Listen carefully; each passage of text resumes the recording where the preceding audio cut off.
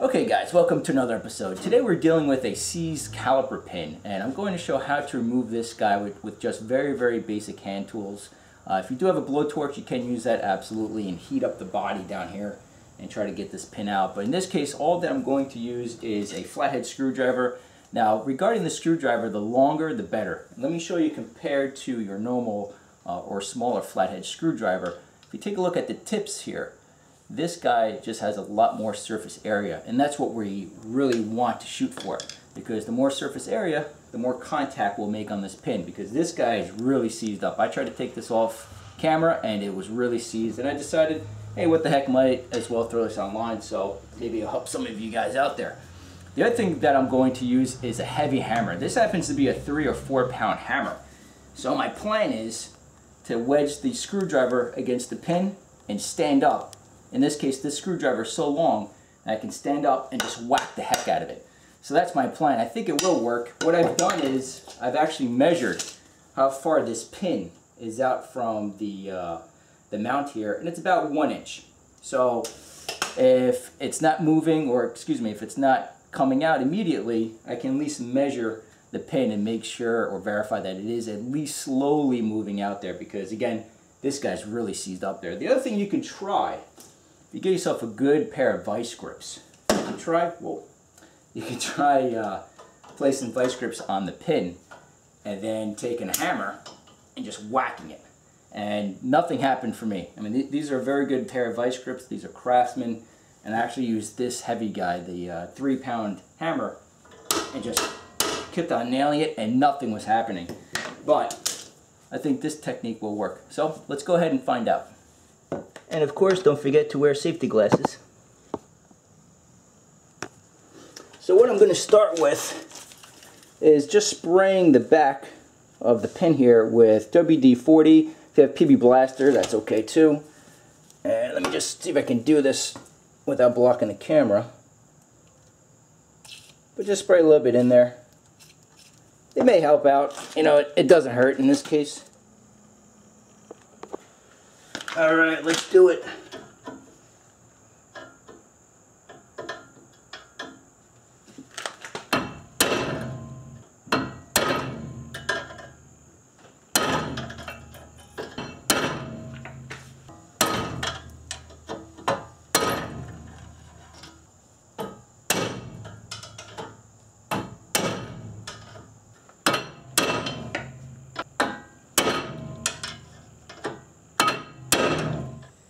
Okay, so the end result is I completely failed. Nothing is happening here. I even tried hammering it out with the chisel and the three pound hammer. Zipped happened. In fact, I even measured uh, to see if the guide pin was moving at all and nothing has happened. Not even a centimeter. This thing is moving.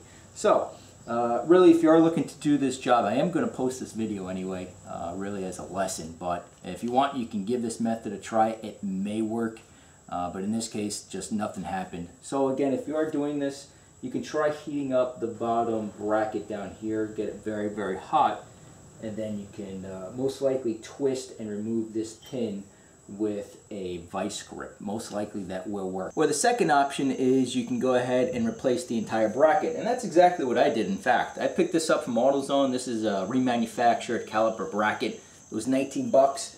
And I also went to grab some new pins here and the rubber boots. Altogether, it was around $30. In my opinion, that's just, in my case, it was just easier to do that. I can save a ton of time, just pick up the parts, replace it, and that's really about it. So if you are doing this job, you could try using the hammer and the screwdriver, but if it's really solidified on there, as you can see previously, it beat the heck. It bent it and mangled the, that pin, and nothing was happening. So I just decided to replace all of it.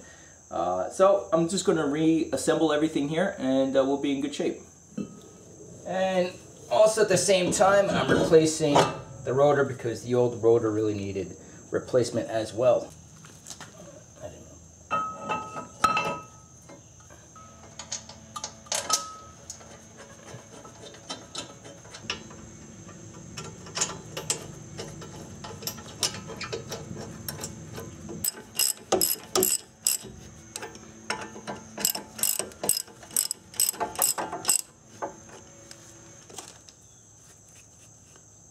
And then I'm going to use a little bit of brake grease and coat the top pin, this guy right here, on top of the uh, caliper.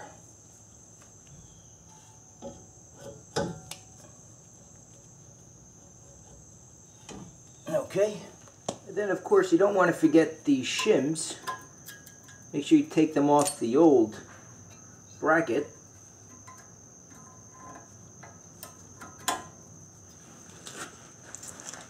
And then you're going to take a little bit of silicone grease and just dab the ends.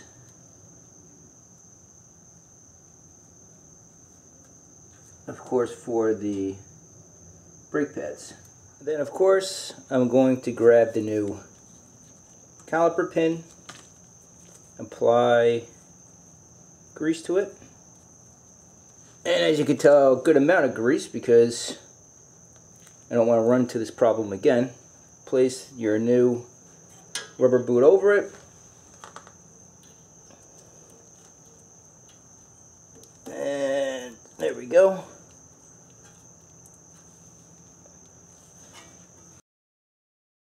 We'll reinstall the brake pads here. Don't forget to put a little bit of brake grease on the back of the pad. We have another guy right here. And again, a little bit of brake grease. Swing down the caliper like so.